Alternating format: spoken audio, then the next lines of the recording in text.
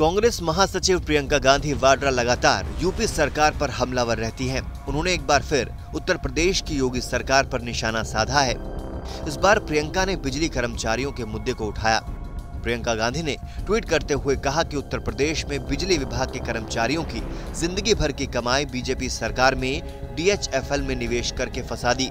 चुनाव के दौरान मुझे तमाम सरकारी कर्मचारियों ने मिलकर नई पेंशन स्कीम को लेकर अपनी चिंता बताई थी। आज उनके शक जायज़ साबित हो रहे हैं। कांग्रेस महासचिव प्रियंका गांधी वाड्रा ने कहा गुनेगार कौन? जिस व्यक्ति ने ईमानदारी से अपनी ज़िंदगी भर की कमाई आपके हाथों में भरोसे से डाली? उसके लिए आपका क्या जवाब है? और कितने विभागों के कर्मचारियों की गाढ़ी कमाई ऐसी संदिग्ध कंपनियों में लगाई गई है। छोटी मछलियों को पकड़कर ध्यान भटकाने से नहीं असली गुनाहगारों को सामने लाना होगा।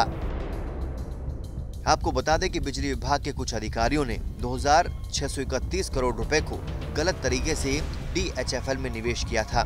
निवेश किया गया पैसा लगभग पैंतालीस हज़ार ज़्यादा बिजली कर्मचारियों के भविष्य निधि का था।